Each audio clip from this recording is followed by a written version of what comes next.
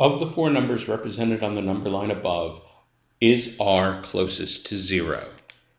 Well, first of all, just a comment on this diagram. We are not guaranteed that the numbers are exactly evenly spaced.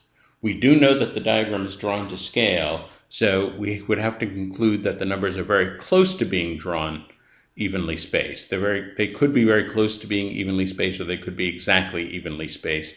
We don't actually know that from the diagram. So statement number one tells us that Q equals negative S. Technically, the way to say that mathematically, Q equals the opposite of S. Well, what that means is, of course, Q is more to the left, so Q is going to have to be the negative number, S is going to be the positive number. So they're positive and negative of each other. They have the same absolute value, which means they have the same distance from zero. So it means that zero would be halfway between them. Well, again, we have no guarantee that r is exactly halfway between them, but in other words, r is very is certainly very close to halfway between them.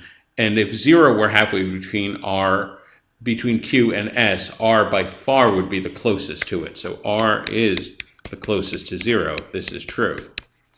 So this statement by itself is sufficient to answer the question. Now statement number two.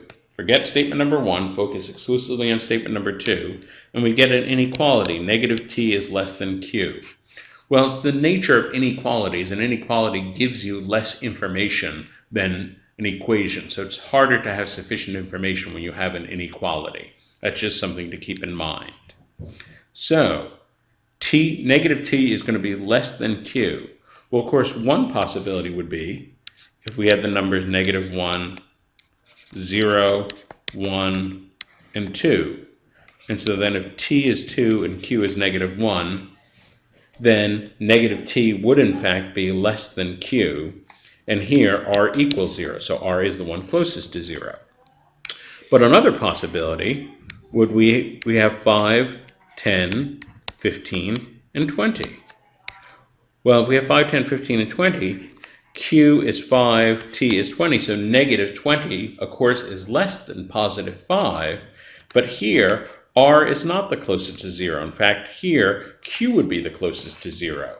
So in other words, consistent with this inequality, we can construct different cases, some of which have r the closest to 0, and some of which have something other than r as the closest to 0.